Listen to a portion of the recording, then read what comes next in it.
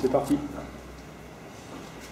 Bon, alors, désolé pour le retard. Euh, donc, je vais en fait vous faire euh, vous refaire un peu des présentations que j'ai déjà faites aux journées Pearl, mais je pense que plusieurs ici ne les ont pas vues. Ce sont des présentations euh, cette, cette fois-ci qui sont très orientées sysadmin. donc là, je vais prendre un peu plus mon temps pour expliquer les choses, mais bon, de toute façon, si vous avez des questions, n'hésitez pas à les poser maintenant. Donc, je vais d'abord commencer par parler de Rack Tables à Rack. Euh, en fait, c'est pour faire en fait, un, retour d'expérience euh, que, que j'ai fait parce que sur Mouse et DX Class, euh, en fait, donc c'est donc alors, il y a deux ans l'an dernier, et après encore enfin deux ans et l'an dernier, j'ai fait une mission deux fois trois mois chez Isaac où en fait ils avaient un besoin de développer un, outil pour en fait générer des configurations de manière assez générique euh, avec comme source euh, que je vais un peu prendre après, et le but c'est en fait de générer des configurations pour un peu tout ce qu'on a besoin en installation, donc du genre du PXE, du DHCP, du Kickstar, du Nagios, du Captif, enfin voilà, euh, de choses, et que ce soit aussi avec des différents types d'équipements. Donc pour les serveurs HP, donc, se connecter au, au, ILO pour envoyer les données, parler aux, aux, aux, aux si, si vous ne connaissez pas, ce sont en fait les, prises euh, électriques, mais des prises IP. Donc on peut ensuite contrôler la distance, on peut se connecter contre la distance en disant pas on éteint, on, allume une prise et on peut aussi mettre des labels, euh, mettre des comportements, etc. Et par aussi sur les switches Cisco. Bon, voilà.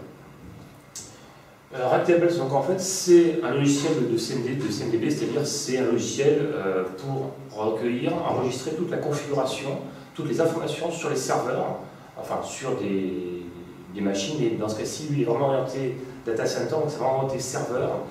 Il est, euh, est en PHP MySQL, il est clairement pas au niveau d'un truc beaucoup plus complexe de type GPI, euh, qui lui est vraiment orienté, on va dire, euh, en fait, gestion de parc informatique, au sens vraiment, on veut gérer les ordinateurs de bureau, les imprimantes, les tables, les chaises et tout.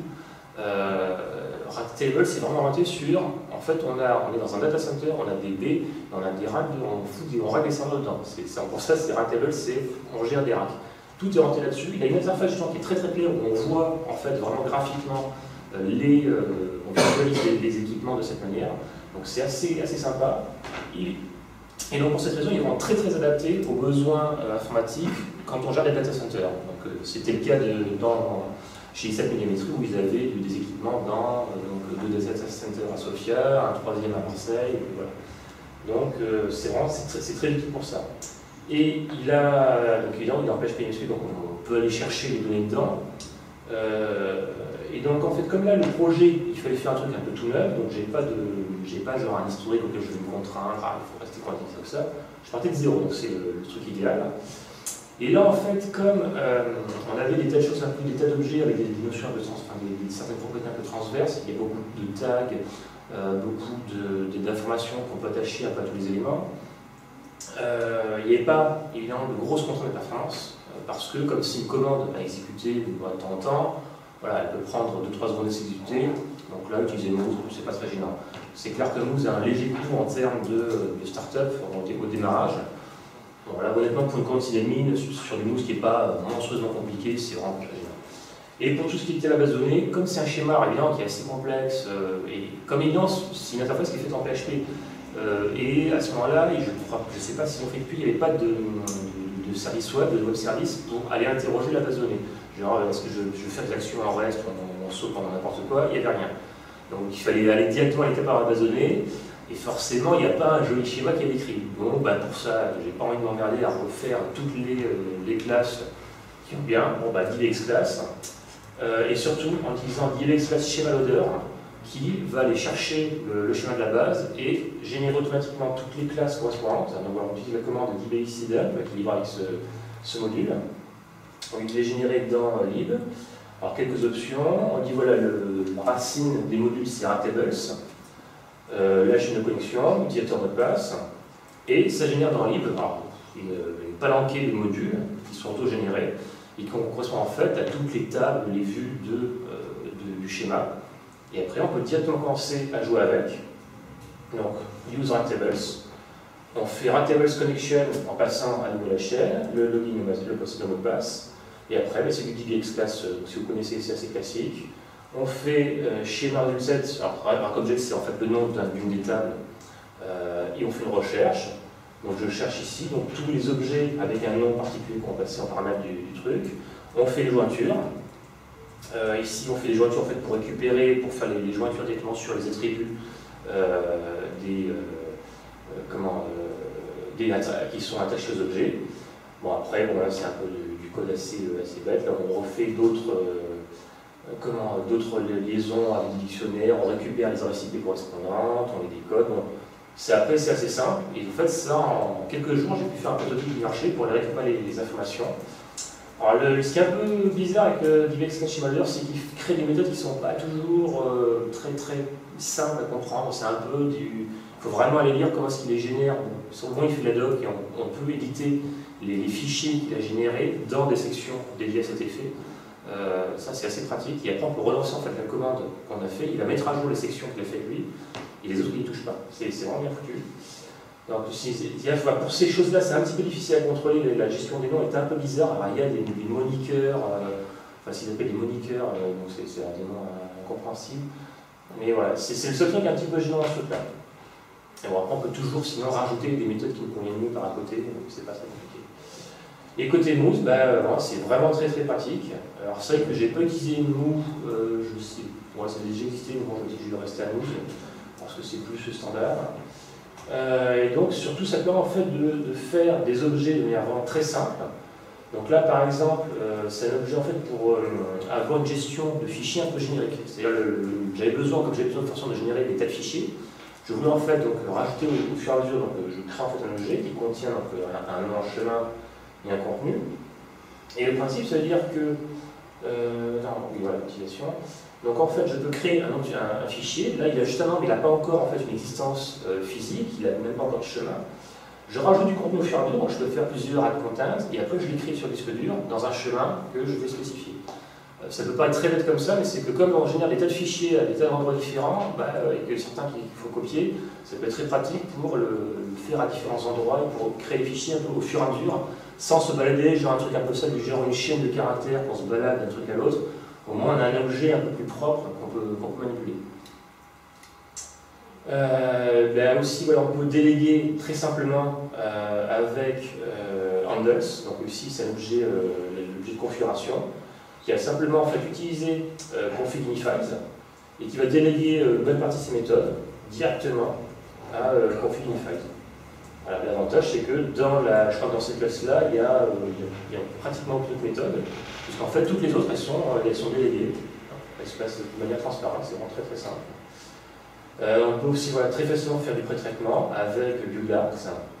Euh, donc ici, c'est par exemple pour vérifier que, c'était je crois pour vérifier que le nom, qu'on passe un nom de configuration, pour avoir une meilleure euh, langue ceci pour c'est pour rattraper l'erreur, parce que ça c'est un petit problème de Confinify, c'est comme lui, il ne euh, gère pas très très bien, il ne fait pas une exception à la sortie d'erreur, ça permettait là d'attraper les erreurs et de mettre en plus de détails. C'est genre de truc assez pratique. Euh, et évidemment, là où c'est où Moose vraiment prend tout son sens, c'est quand on pense à les rôles. Alors l'utilisation du rôles que j'ai fait, probablement ceux qui ont déjà fait une utilisation assez massive de Moose, à mon avis, disent que c'est très très bâtard. Mais bon, j'ai vu à deuxième Europe que certains disaient que c'était une manière potentielle de faire, mais bon, voilà, moi, c'était ma première grosse utilisation de Moose, donc c'est pas forcément la, meilleure, mais l'avantage c'est que ça marchait pour mon, cas. Donc le, but ici, c'est en fait que je fais des objets euh, que je spécifie en fait au fur et à mesure par la composition des limites de rôle. Le principe, c'est qu'en fait, au début, juste un, device très très générique. Et après, au fur et à mesure, je vais dire, bon, bah, est-ce que c'est un PDU, un serveur, un switch ça, On le spécifie une première fois pour ce type d'équipement. Et après, je spécifie une deuxième fois pour savoir quel est le, modèle que c'est pour savoir, par exemple, comment lui parler. Et typiquement, pour ces équipements-là, en fait, comme euh, par exemple pour le, euh, les HP, enfin pour les HP, euh, on ne va pas générer une configuration, il n'y a pas de fichier de configuration pour ça, en réalité, il faut parler au protocole ILO. Donc en fait, là, on va faire du réseau. Mais bon, l'avantage, c'est qu'on peut masquer un peu tout ça, et simplement, en, disant, on va spécialiser l'objet euh, comme étant un, HP de serveur. Et après, quand on dira, ben, juste, je veux que tu pousses la configuration sur l'équipement de la manière que tu veux, soit c'est, on fout la configuration dans un truc qui après sera poussé par du CF Engine, soit en fait, on va directement parler le protocole correspondant pour l'envoyer sur l'équipement. C'est une instance où tu spécialises au fur et à mesure. Oui. C'est pas une classe. Voilà, là en fait c'est vraiment, je voulais ça voilà, j'ai bien dit, si je, je spécifie des objets. Hmm. C'est ça qui est intéressant, c'est qu'on peut faire en fait dans Moose, on peut aussi bien en fait composer les rôles dans les classes que sur les objets. C'est ça qui est assez sympathique. Donc ça évite de devoir se faire, euh, on va dire un peu la manière euh, classique de dire, euh, tu es obligé de faire en gros une hiérarchie de classe en prenant en compte tous les cas possibles. Tu fais juste une classe device, une classe serveur, et après bah, au fur et à mesure tu, récupères les, les bouts dont tu as besoin. C'est vraiment, en effet, encore une fois, je sais que mon code après n'est vraiment pas le plus, on va dire le plus beau, le plus orthodoxe existant. L'avantage c'est que ça permet de, coder ça assez rapidement. Donc si quelque part, en sachant que je n'avais aucune expérience de Moose devant ça, bon, on peut dire c'était quand même, euh, ça montre que quelque part le framework marche bien. Donc voilà, là c'est justement la manière dans euh, Device pour spécialiser. En, bon, le code n'est vraiment pas très joli, mais en gros, ça va récupérer le type de l'objet, euh, object type, et ça va tout simplement euh, charger et spécialiser l'objet avec ce type d'objet. C'est vraiment assez simple. Et après, c'est le respécifique deuxième fois, en, en fonction du, type de matériel que c'est. donc ça c'est la, partie spéciale. C'est pas du code très joli, mais bon, c'est réduit à pas grand chose. Et euh, ça permet, en fait, assez simplement, on dit voilà, le rôle c'est ça, et ça permet assez simplement de spécialiser l'objet au fur et à mesure euh, dans une classe qui elle sait faire pas mal de choses. Le programme final, bah, c'est une commande rack. Bon, on va dire la commande principale c'est ça, en fait il y, a, quelques autres commandes qui sont, qui sont livrées avec. Euh, pour la commande rack, donc il y a aussi dans la doc et les tests. Les autres commandes, il y a par exemple, bon, euh, donc rack, bah, ça permet de récupérer, j'ai fait une d'utilisation. Rack info pour avoir les, bah, par exemple, récupérer les informations et ces affiches, soit en, un affichage compréhensible, on peut en donner en je sais ce qu'on veut. un truc très utile, c'est RackDiff va en fait vérifier entre la configuration telle qu'elle est dans le tables, donc telle qu'elle est dans le référentiel, et telle qu'elle est en réalité. Donc en fait, qu'est-ce que ça va faire? Ça va regarder ce qui est dans le référentiel, générer la configuration justement dans des fichiers virtuels, récupérer la configuration telle qu'elle est, donc soit dans les, les répertoires Safari, soit directement au niveau de l'équipement, et faire un diff, et afficher le diff, et montrer, voilà, s'il n'y a pas de diff, ah ben, ça va. Le référentiel est à jour, c'est un diff, non, pas bon. Il faut peut-être mettre à jour le référentiel ou réappliquer un truc ça, c'est un truc assez pratique pour vérifier qu'on n'a pas de, trop d'un gros décalage entre son référentiel et ses équipements. Sur, quel type de config c'est applicable Oui. Ah, dans, ce cas-ci, là, ça marche pour, euh, enfin, pour tous les équipements qui sont, qui sont gérés. Donc, ceux qui, euh, étant donné que je n'ai fait Ratman, enfin, j'ai codé Ratman pour Istat et puis après on l'a libéré et qu'ils avaient des, des Cisco, des serveurs HP et des euh, rack PDU, la PC, ça marche que pour ces trois équipements, mais tu peux le faire pour d'autres. Je vois ce que c'est la config d'un switch. La config d'un serveur, c'est quoi Ça s'appelle la config d'un serveur Là, ça, bah, dans le cas du ILO par exemple, en effet, tu n'as pas de config. C'est ce que j'ai oui. Hein? ILO, je, je vois à peu près, mais. Bah, tu récupères. Bah non, attention, la, la, config du serveur ici, ce n'est que, ce n'est que la partie en fait serveur matériel. Parce que le, serveur ici, c'est vu là, il est vu en tant que matériel. La partie, on va dire, le reste de la configuration au niveau système, je pense c'est les différents autres formats euh, de type Nagios, DHCP, PXE, etc. Mais ceux-là aussi sont comparés. Donc en fait, c'est que tu changes, ça te fait la config à la fois donc dans le cas du serveur en tant que matériel, qui est équipement lui-même, donc dans IDO, ben, il va récupérer en fait, différents paramètres IDO et les comparer par rapport aux paramètres qui rentrent dans le référentiel, enfin à ceux qui mettraient par rapport aux informations du référentiel. Euh, et après, tu as bah, la config euh, donc, euh, PXE, DHCP, Nagios, mm. Kickstart, qu'est-ce que tu as d'autre Cacti, enfin non, Cacti, non, Cacti c'était l'intérêt. L'intérêt de faire la différence entre la réalité et le référentiel, c'est que le référentiel il est enseigné entièrement manuellement. Il n'est pas nourri par la réalité, par un agent de Chez eux, j'ai essayé de les convaincre de déployer Fusion Inventory, je vais continuer à dire. mais ils disaient, ouais, mais bon, là, enfin, le problème c'est qu'en fait, il n'y a pas, pas d'import à l'heure actuelle de Fusion Inventory dans Tables. Il y a pas d'autres agents, mais Rakabo ne fait pas de BCMP par exemple. Euh, il, fait, il fait de l'import de l'anti-BCMP pour certains trucs, du genre les switches, des trucs comme ça. Mais à la base, c'est un référentiel manuel. Globalement, bah après, si tu as, bah voilà, tu as, tu as un, un import, euh, tu as un import SNMP pour euh, genre euh, les switches, tu as. Et après le reste, toi, tu rentres au fur et à mesure manuellement les infos. C'est voilà, bah, un GPI sans. Voilà. Ah oui, c'est pour ça, c'est pour ça que je disais vraiment, c'est c'est pas du tout au même niveau que GLP, il y a des tas de points de vue, mais c'est l'avantage qu'il est très très pratique. GLP, si t'as pas d'agent, t'as la même chose. Hein. Voilà, mais bah, le, le, truc c'est qu'en fait, voilà, GLP a son agent et euh, il y a Fusion Ventory qui peut se connecter sur GLP, je crois même aussi maintenant euh, un ou deux autres. Euh, Rectable, malheureusement, n'en fait pas partie. Alors j'avais, je me dis, j'avais peut-être commencé à regarder là-dessus, mais après j'ai pas eu le temps. Sinon, ce sera un truc, je me dis, ce sera un truc à faire, en fait, coder ce qu'il faut pour, comment, pour récupérer les informations de fusion et foot dans Rectables. Mais en fait, le, problème, c'est que Rectables, euh, il y a toujours le problème, en fait, tu n'as pas de web service sous une forme quelconque. je, crois que tu as plus ou moins, tu peux faire un import plus ou moins YAML, mais je ne sais pas jusqu'à quel niveau d'information tu peux rentrer dedans c'est pas bien documenté. Donc, euh, tu vois, le problème est là, c'est qu'il n'y a, a, pas trop de trucs prévus pour dire euh, je veux importer des, choses. C'est un peu ce qui manque dans Tables. Voilà. Ah, ça... OCS, il y avait rien prévu que les gens GLP ont fait, c'est un accès direct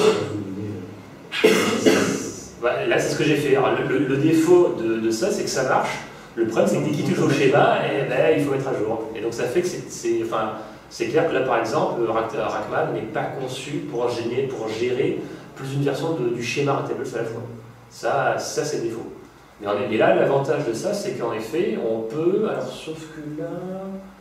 Euh, c'est vrai que là, euh, Rackman à l'heure actuelle n'a pas les, de commande qui permet de rentrer les informations, mais tu récupères en fait les, euh, les infos, enfin tu récupères le, schéma et en fait tu peux après foutre des infos dedans si tu veux. Ça c'est un c'est voilà. Donc, euh, voilà. Donc, ce que je dirais, voilà, c'est pour générer et créer une fiche de configuration, on pense à licence, donc euh, write. Et après, couche. En fait, c'est il y a une petite différence justement entre les fichiers du type qui sont des vrais fichiers de config, donc euh, tout ce qui est PXE Nagios, tout ce qui est Bakula, enfin tout ce qui est un vrai fichier de configuration sysadmin, il va être généré à ce niveau-là.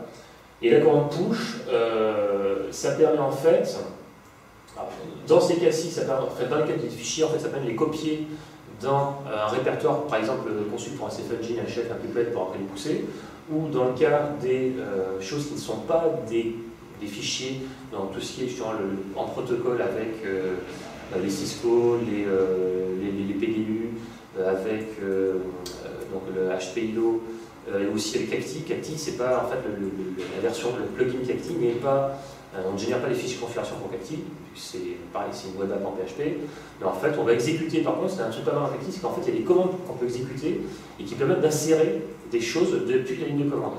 Donc en fait, le push ici va générer les, informations de ligne de commande. Euh, après, je peux dire aussi dans les autres informations, dans les autres trucs, attention, c'est un truc que j'ai complètement oublié de, mettre, c'est que tout est versionné. C'est-à-dire qu'en fait, on peut désactiver, mais euh, chez ça, il les a mis vraiment tout versionné. Et donc, tous les fichiers en fait, qui sont générés à ce niveau-là, euh, à chaque fois, on peut en fait s'exécuter avec un, euh, la commande qu'on veut, alors CVS, Git, HG, Bazar, enfin celle que vous voulez, en mettant donc à chaque fois commit en disant paf, mis à jour à telle date. Ça permet en fait d'avoir un versionning de, tous les fichiers config euh, complètement automatisé.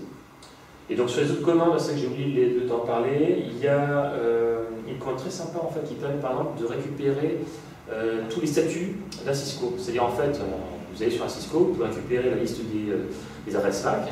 Bon, ouais, c'est sympa, on fait une adresse MAC, bon, c'est pas très parlant. Ou au mieux, dans adresse IP. Ok, enfin, une IP, c'est pas toujours super parlant. Et en fait, ben, forcément, il est évident qu'une fois qu'on a Ractables et qu'on a ça, on dit ah, bon, ben voilà, c'est évident. il suffit, on va, on prendre les adresses MAC de on va chercher dans Ractables le truc correspondant, et on peut faire l'affichage en mettant le nom des serveurs, euh, correspondant pour dire voilà, sur tel port, donc sur le port euh, euh slash 10, c'est tel serveur. C'est quand même un truc assez sympathique. Et donc le truc sympa, c'est qu'en fait, j'avais donc j'ai déjà commencé à bosser pour eux donc en première fois en, fin 2011.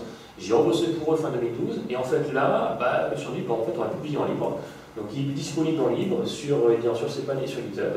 Donc ça fait que là maintenant, bah, si vous voulez vous en servir, ou l'étendre comme vous voulez, il est disponible. Voilà, y a-t-il d'autres questions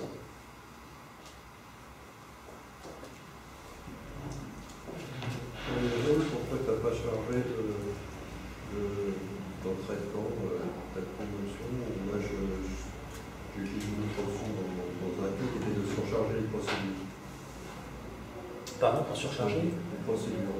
Ah, Sébastien, tu C'était- répètes la question pour la caméra J'ai j'ai pas entendu la question déjà. C'est Tu as choisi donc euh, des rôles oui, pour euh, traiter le problème en changeant les objets. oui. D'accord Euh, Moi j'ai eu des objets un, un petit peu différents, mais dans ce cas-là, j'ai utilisé une autre technique qui consistait à surcharger les procédures, Les méthodes. les méthodes. Donc euh, dans ce cas-là, tu as. D'accord. Donc la- question c'est pourquoi j'ai surchargé, euh, enfin j'ai fait de la composition de rôle plutôt que de la surcharge de méthode? Voilà. Bah, Oui, non.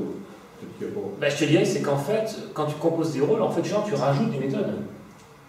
Ça sert à ça. Le, le but, euh, mais tu ne les rajoutes pas, tu ne les surcharges pas. Le, le truc c'est qu'en fait là, il y a des choses qui sont des méthodes qui sont un peu spécifiques. Ça permet aussi de rajouter, par exemple, le, le rôle, le rôle va rajouter des méthodes pour dire je vais parler de protocole IO. Il y a une différence notable, c'est que si tu veux chercher des méthodes, tu dois construire a priori la hiérarchie de classe de façon statique avant. Parce que là, tu la construis dynamiquement en faisant ton, ton- ton affectation de rôle euh, au fur et à mesure de tes besoins. Alors tu pourrais éventuellement t'amuser à faire des trucs un peu de crade du genre, tu te reconstruis une classe privée, l'objet en gros tu refais ta- ton objet comme étant une singleton d'une classe que tu génères dynamiquement et qui hérite des différentes classes que tu veux. Mais au final, Et en fait, c'est un rôle. Voilà, au c'est final, exactement ce que fait Rolltime. C'est exactement, enfin, c'est faire un rôle, mais pourquoi se le faire à la main alors que Moose te le propose déjà? C'est un rôle. Donc, euh, si tu utilises de, juste de l'héritage euh, simple ou utile pour justement juste faire de l'overloading, bah, tu es obligé euh, à euh, de classes. Donc si Voilà. tu as 10 types de serveurs et puis 10, euh, Des- 10 des- méthodes euh, d'accès, eh ben, ça te fait 100, euh, 100 classes à écrire ou. Alors que là, le- l'avantage du rôle, c'est que tu écris que les 10 d'un côté et les 10 de l'autre, donc 20 euh, fichiers, et tu les, tu les merges à runtime. Tu les Exactement. consommes à runtime. c'est vraiment, c'est c'est plus- c'est beaucoup, beaucoup plus simple. Voilà, bon, je ne sais pas si c'est une question, sinon, merci. Des questions Merci.